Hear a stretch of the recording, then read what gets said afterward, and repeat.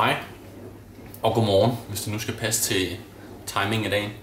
I dag skal vi ud og køre, og vi skal til Sjælland. Jeg skal over til Tabernøje, hvor øh, en af mine følgere er blevet øh, konfirmeret, og øh, han hedder Tobias. Tobias han mødte mig til bakkeåbningen inde i København for snart to år siden. Jeg tror faktisk, det var i 16. Vi har i hvert fald taget et billede sammen på Instagram, som Tobias lavede op. Øh, så han har fulgt mig et stykke tid. Og øh, hans mor kontaktede mig for x antal måneder siden og spurgte, om ikke jeg kunne være interesseret i at køre med Tobias til hans konfirmation. De havde ikke plads eller tid i kirken. Jeg kan ikke helt huske, hvordan det var. Men der var i hvert fald noget, der gjorde, at de ikke kunne blive konfirmeret, som så mange andre gør i maj. Og derfor fik de så valget, at de kunne gøre det i august. Nu er det august. Det er den 26. Det er en søndag. Og jeg skal fra Jylland, Midtjylland, Horsens. Og så skal jeg helt over på Sjælland, sådan det sydlige er det, til Tabernøje, hvor Tobias ikke ved, at jeg kommer. Så, øh, haha Tobias, I got you. Øhm, når vi så kommer derover, så skal vi køre en lille tur, og så har jeg, øh, så har jeg en lille overraskelse med. Jeg er egentlig en overraskelse på Tobias, men jeg har også en overraskelse med til Tobias. For vi kommer nemlig hilse på. Vi. Ja. Jeg har taget de varme handsker på. Jeg har taget sådan en... Øh, sådan en... Nu kommer jeg og stjæler alle dine penge, tror jeg. Det er egentlig fordi, den kravler ikke ned, når man tager hjelmen på. Hvor de der halsklud, man normalt har, de kravler ned om hagen. Og så slipper de ned ved trøjen, og så flyver det op under hjelmen. Så har man blottet hals. Det er lidt kølig dag. Min vejrudsigt siger maks 19 grader, selvom solen skinner herude. Øhm, Mosen er klar. Jeg er klar. Klokken er 8.00. Vi tager afsted. Vi ses, Tobias. God tur.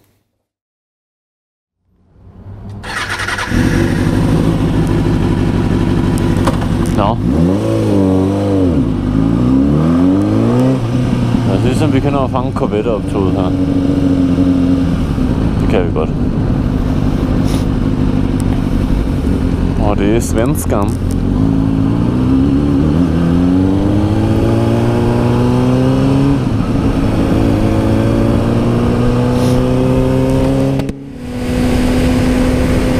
Åh, det er sgu også godt.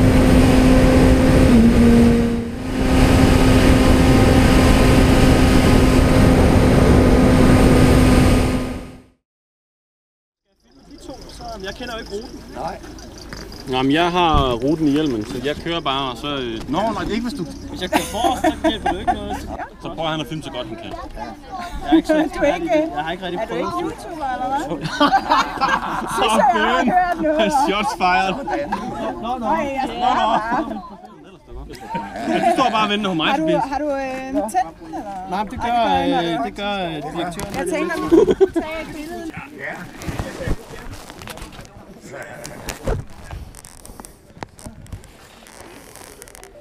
Hello.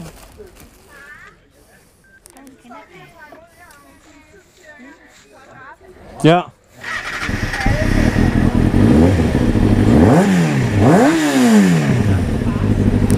Så er det din tur. Åh oh, nej.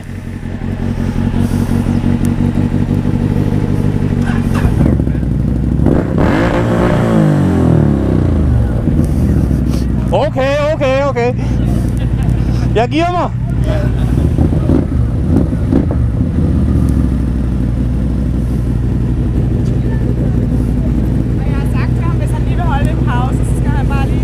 Skal du bare prikke mig i siden? Hvis du vil holde pause, eller hvis du vil fortælle mig et eller andet, så prik mig med to fingre i siden. Og han holder bare godt fast under dig. Ja.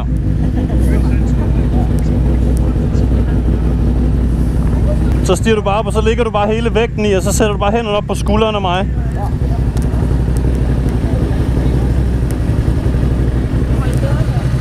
Og så skal du have tæerne. Dem skal du have op på den der. Flyt foden lidt længere tilbage. Sådan der. Yes.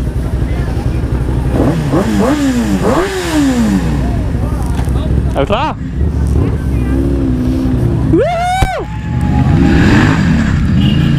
Yeah.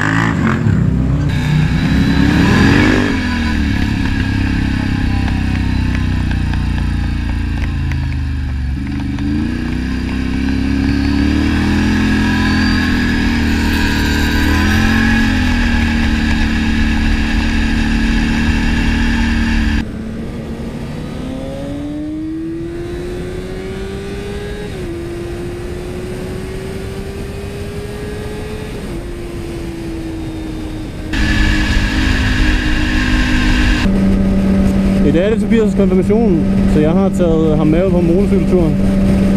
Og det håber vi så bare, at Tobias kan lide. Nu skal vi lige have fundet øh, en sidevej, vi kan komme ud af her til højre. Og øh, så skal vi ud og køre en lille tur.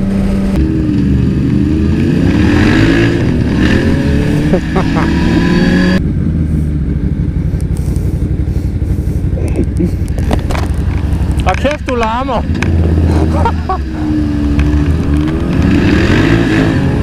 Ha ha ha!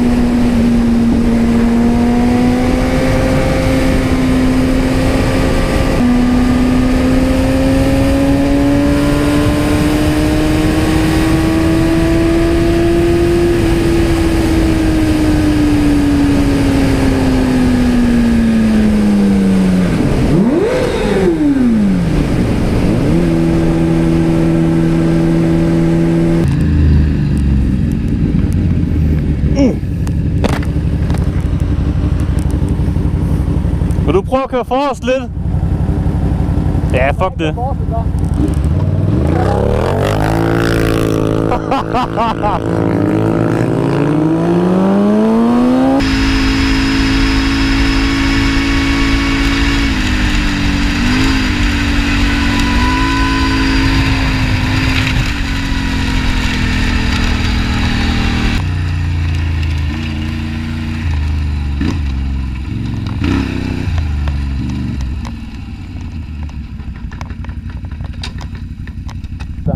Har du ondt i røven, eller hvad?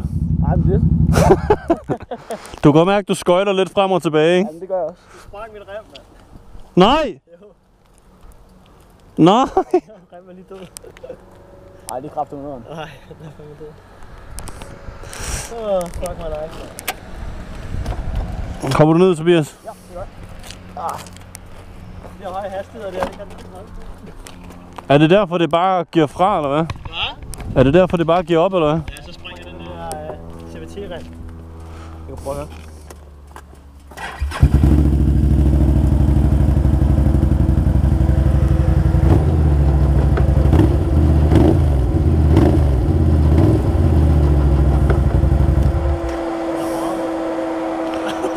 Oh my fucking god, hvad så? Jamen, øh, så ikke andet, så skal jeg bare hente og fald. Men jeg tror, der er en falkstation ret tæt på, så det kan være, at jeg hurtigt kan få den fragtet af helvede til.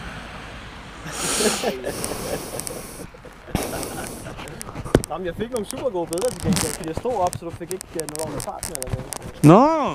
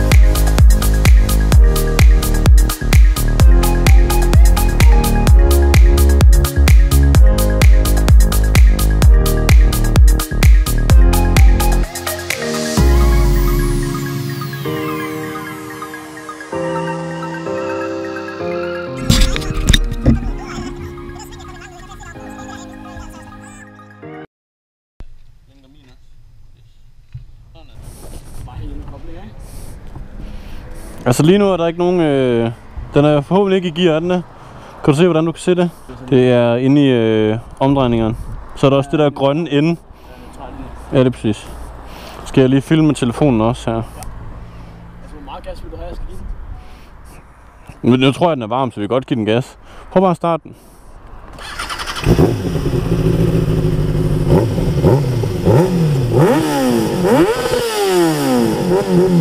Hvor mange omdrejninger er det? Du er oppe i 16. Det kan den ikke. Den springer i luften, så jeg tror max det er 13 eller 14.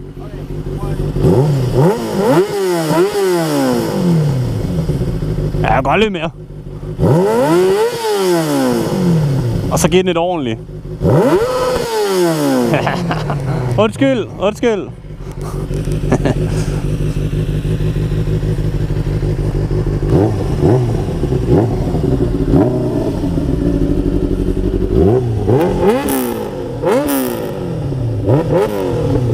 Åh, oh, ja. Den lyder bare så godt bagfra, den gør. Den er altså bare... Skal du så hjem til familie og god mad og sådan noget nu? Jamen, det kan man også bestemme. Tror du så, de har lavet alle mulige ballader, du skal have sange og sådan noget pis og sådan noget? Det tror jeg faktisk, det har. Er det lang tid, du har været til en konfirmation i familien? Ja, altså min store han er, han er blevet 20 her for ikke så lang tid siden, og der har vi også hans konfirmation der for et... Nå, okay. Nej, det er sgu da den vej, vi lige kørte af, for fanden. Så vi skal faktisk tilbage igennem alt det der en gang til. Og så skal vi bare til venstre, hvor vi kørte lige igennem en by, åbenbart. Okay. Om det er helt perfekt. Er der en anden vinkel, du vil have, den skal filme fra, eller et eller andet? Måske i køreretningen, så man kan se svingen, inden vi kører ind i den. Jamen, det tænker jeg. Så er det bare lige, hvordan... Øh... Nu synes jeg her. Skal lige have den der GPS-stemme til at forstå, at vi gerne vil hjem. Så. Jamen, der er der nogen, der er ude og bade i hvert fald.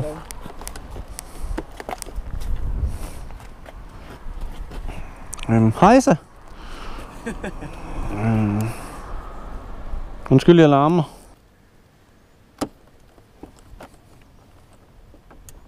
Jo jo, jeg kan hive i motorcyklen. Jeg synes, jeg forestiller sig, at den står lodret. Jeg skal have den der tankbeskytter af, den kan da ikke tåle regn. Den skal da skiftes. Sådan der. Hvis det her GoPro det flyver af, så må vi jo lige øh, køre tilbage og hente. ja, hej. Og så øh, hvis du skal ud og køre med ham, jeg ved ikke om det er bare fordi I gjorde det hurtigt. Rygskjoldet, det skal man altid have indeni. Jamen, det, var, det, er sådan lidt hurtigt, men jeg plejer også at have den i. Altså, Grunden til, at man skal det, det er fordi, hvis du falder, og du så glider hen ad ryggen, så den der, den kommer lige pludselig til at sidde fast i noget græs, og så flyver den af. ah, Den skal være inde under jakken, så den ikke kan flytte sig, ellers så, så beskytter den jo ikke. nu det det. Det synes jeg.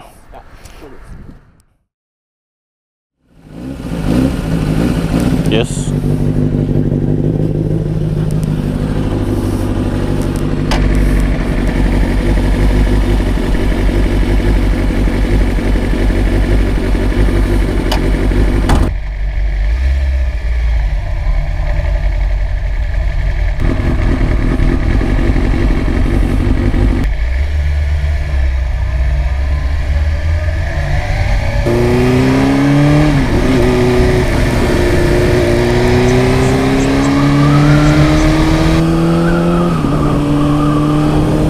Nå, vi var sådan set heldige lige at finde en, øh, en ret fed strækning her.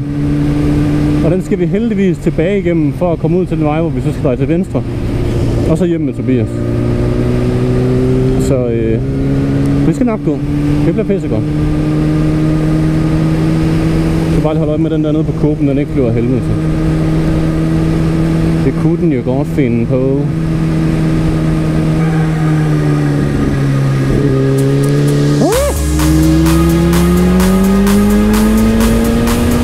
Ja, det her synes jeg bare, der er lidt positivt.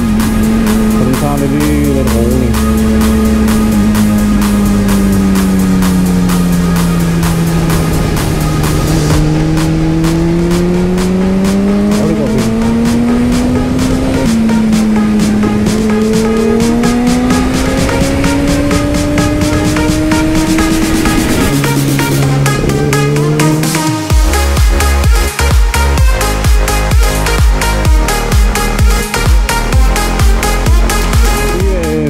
Nok fra, fordi vi batteri på det her kamera, det hopper ud lige om lidt.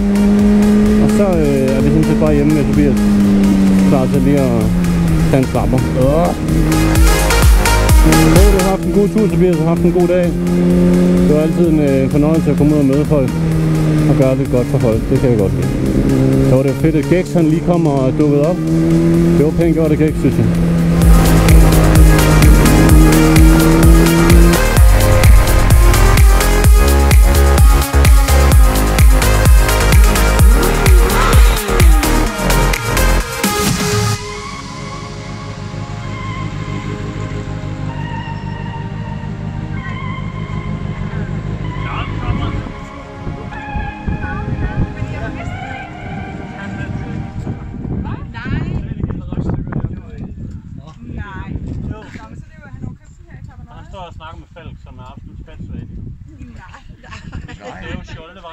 Gange, og så skulle de køre ham et eller andet sted hen. Nu skal han have den hentet og kørt ned til NP Motor, og så skal han have kæresten til at komme og hente. den. Nej. Nej, det var sødt. Jeg skal også ud og hente, skal bare lige finde ud af, hvor han er.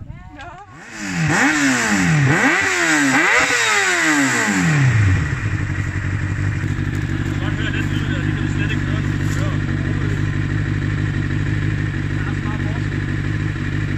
Ja, det er meget sjovt. Jeg kender sådan sidde sådan slår bag lidt.